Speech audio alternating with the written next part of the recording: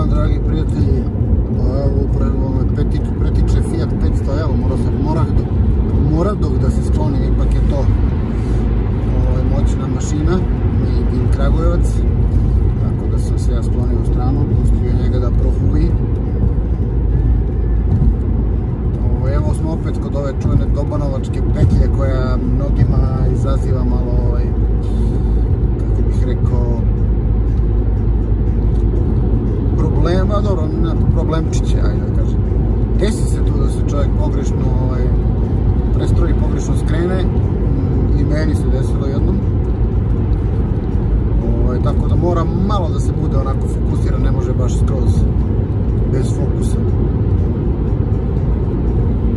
Ovaj, dan je i dalje lep, ali je sad već taj najtopliji dana, deo dana prošao trenutno 13 stepeni, bilo je u najtoplijem delu, bar ono što sam ja merio, je bilo 14, ali dalje to više nego prijatno, malo pre sam malo boravio napolje, onako samo u duksu, čim to može, zna, bez jakne, znači da je to vrlo prijatno. Ovaj, evo, pričamo se skretanju za aerodrom, juče sam malo pričao o njemu,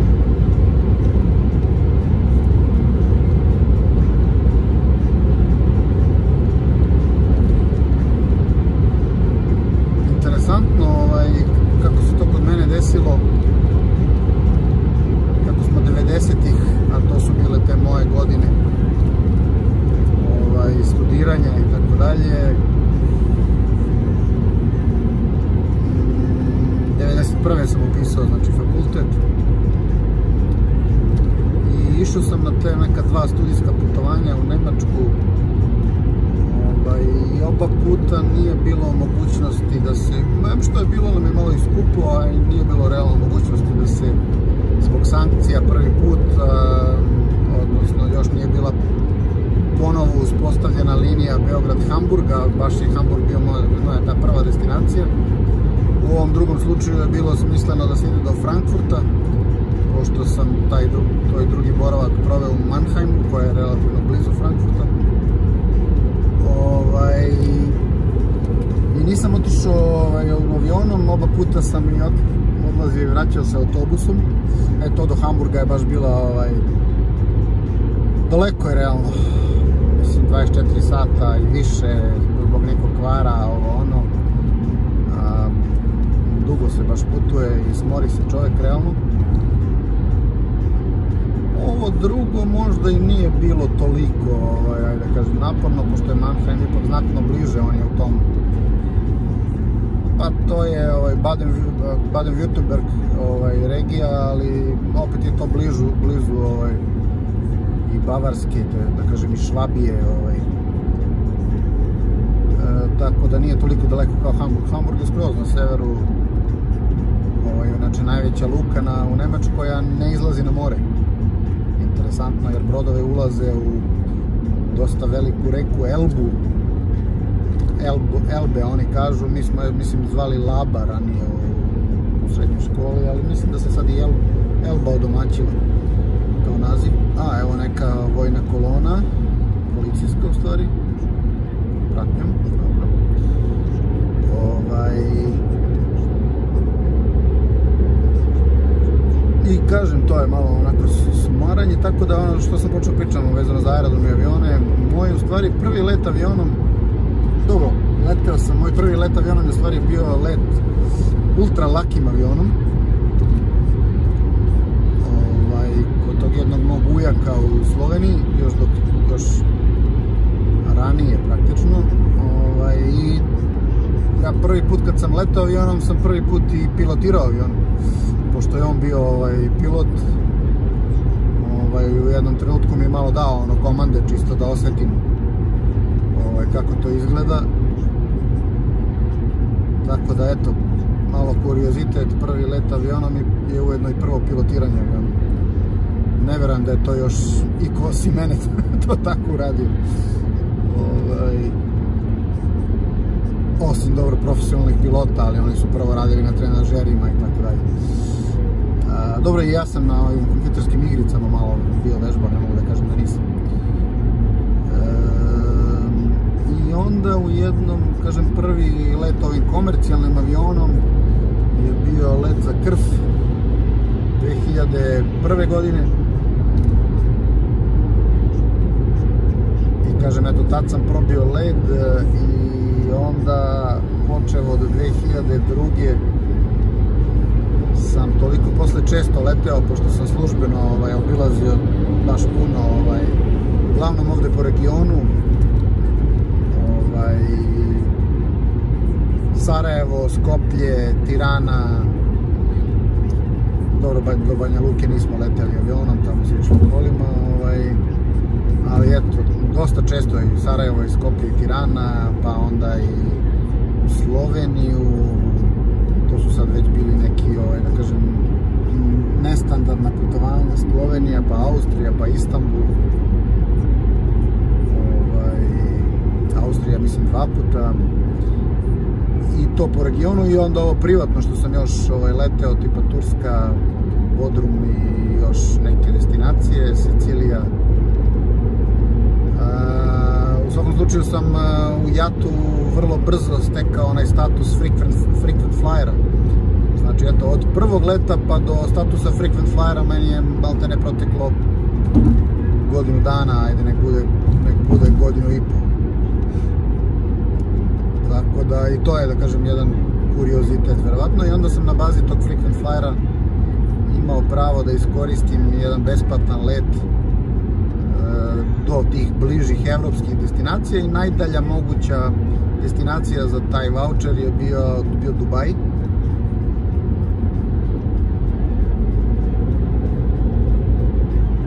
Ja kao, ajde da odem do Dubaja, čisto da eto vidim kako to tamo izgleda. To, taman je bio napravljen onaj čuveni hotel Budžel Arab ovaj, u obliku jedra.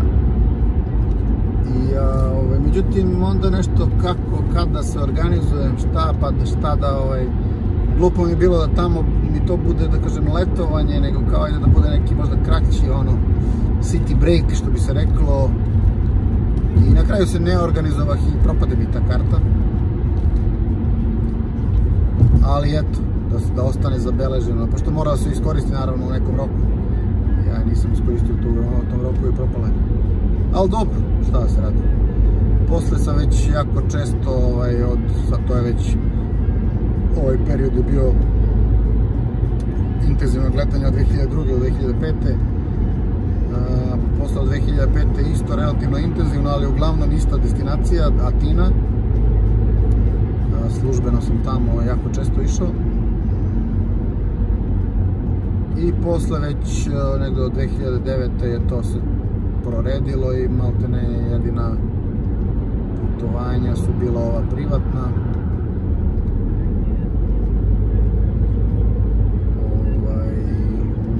turističke destinacije, samo da se setim gde sam išao, pa dobro da Rodos, gde smo još išli avionom. Posle sam čak i preferirao više kolima, da, dobro, ovo je bilo jednom privatno, baš 2009. povratak iz Lisabona avionom. Dobro, naravno, najspektakularnije je bilo ovaj, odlazak na Kubu u tom nekom periodu do 2010. Posle, naravno, od 2010. najspektakularnije mi je bio odlazak u Los Angeles. Još dalje od Kube. Evo, gužva izgleda već počela. 3.02, ali pošto je petak, jasno je da su svi izašli s posla ranije. I sad je to ona službenička gužva. Koliko će mi trebati da se izvuče. E sad, e, to putovanje avionom ponekad ume da bude nezgodno, a naravno to kad sam putovao po regionu ovde našem, ti letovi, jatovi za Skoplje, Tiranu, e, Sarajevo i odande su uglavnom bili u neko praskozorje,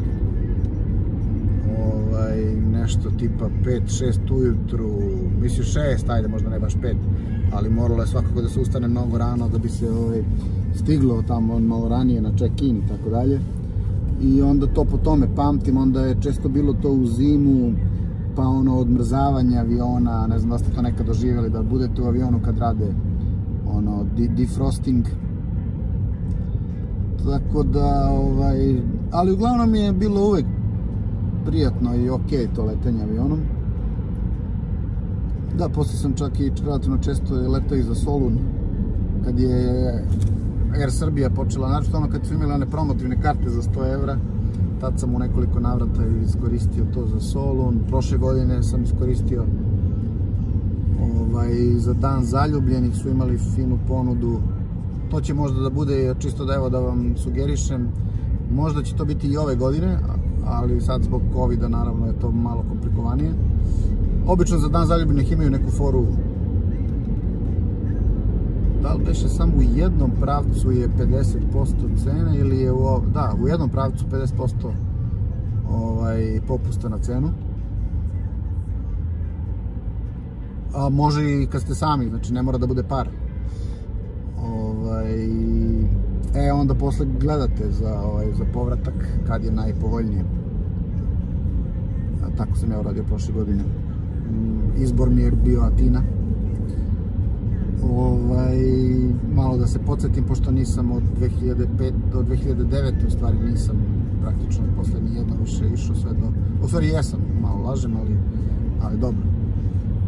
Ovaj, e sad, da li je bilo nekih traumatičnih situacija kod toliko letenja, naravno da jeste.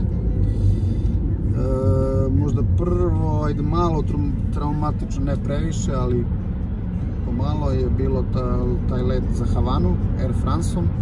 To je onaj ogroman uh, avion uh, Airbusov uh, dvospratni. Ja mislim da je u tom gornjem spratu bila ta prva klasa ili tako nešto. Ovaj, prilikom sletanja u Havanu, u Havani je bilo u tom trenutku nevreme. U stvari samo što je protutnjalo nevreme, mi smo došli praktično na sam rep te oluje Ovaj, to je bila posljednja tropska oluja te godine. I onda je prilikom sletanja malo su bili jači vetrovi, to je bilo malo na zanošenja, a ono je avion ogroman, a sad nisam ni siguran da ta pista u Havani je baš toliko ovaj, spremna za te ogromne avione. Ali dobro, nije to bilo, kažem, osim tog sletanja, sve ostalo je stvarno bilo milina taj let. Ovaj, ali najtraumatičnije iskustvo je bilo iz e, Turske, to je bilo nešto pre, mislim da je to bila 2003. godina.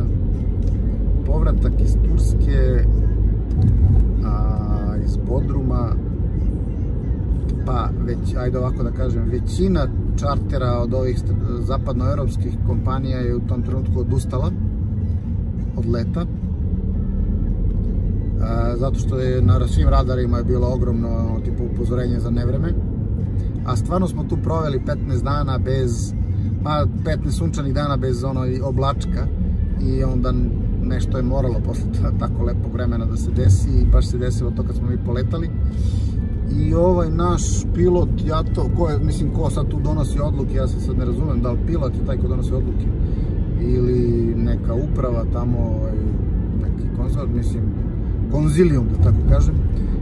Ovaj, ne znam, u svakom slučaju, mislim da je taj naš čarter jedini ili jedan od ređih koji je poleteo uopšte u tom trenutku.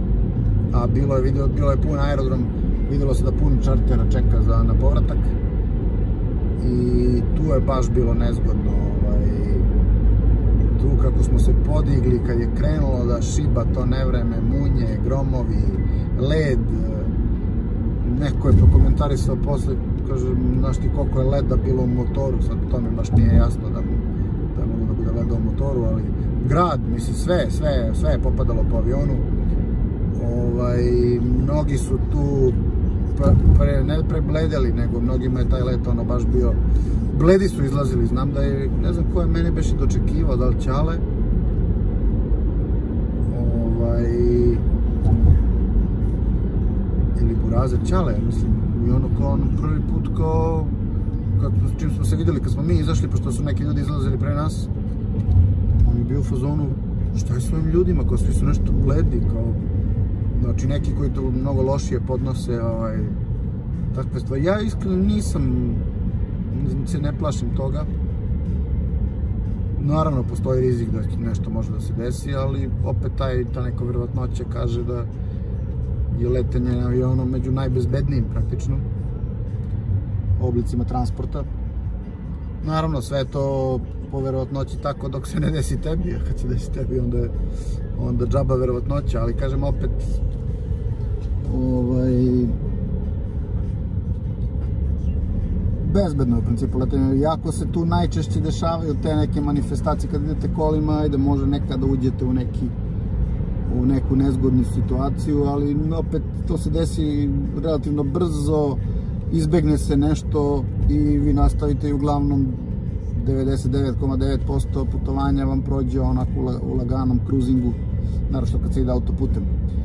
Ovo, ako kod aviona je to drugačije, znači tad se nekako oseti sva ta nemoć ljudske tehnologije u poređenju sa prirodom, naravno kad se tako uleti u, neki, u neku oluju.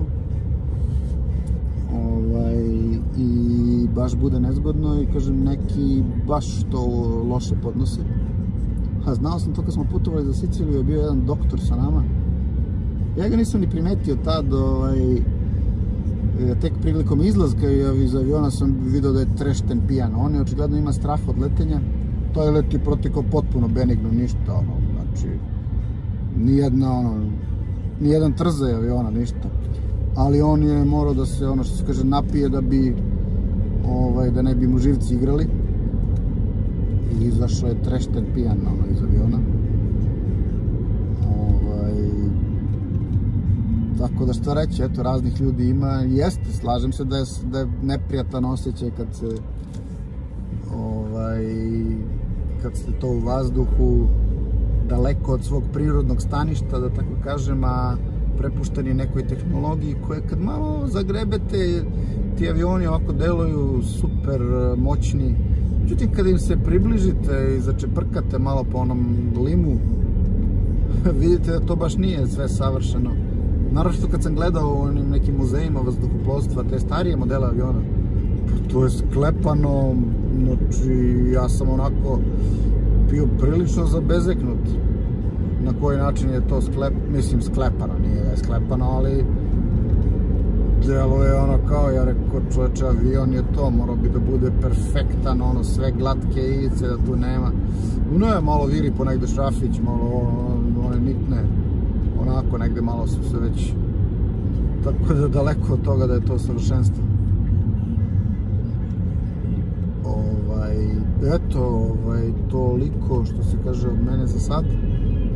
Da ne bi sad ne previše odužio ovaj video. Ja kontam da će gužva biti sve do onog isključenja za Dušanovac, koje je vrlo problematično, koje često pominjem. A da će posle toga već, što se kaže, se razvedriti što se tiče gužve u saobraćaju. Nekad je ovde i autokomanda bila prilično usko grlo, međutim, rekao bih da sad nije to toliko. Umeo je da se napravi red ovde i za izlazak na autokomandu i ovamo, znači daleko pre izlaska, ali sad u zadnje vreme bih rekao da je Dušanovac najveća rak rana, pri čemu mi nikako ne može biti jasno zašto ova brza traka stoji, a ovi nas pretiču sa desne strane, znači po kojoj to logici može da se dešava, nikako mi nije jasno. Ali baš nikako. Sad je ono što je meni problem, što ne volim da vozim ispod, kombi, ispod iza kombija, pošto se od njega ništa ne vidi napred i nemam, što se kaže, preglednost. Ovaj, ali dobro, da ne bi previše odužio, veliki pozdrav, pa se čujemo uskoro ponovo.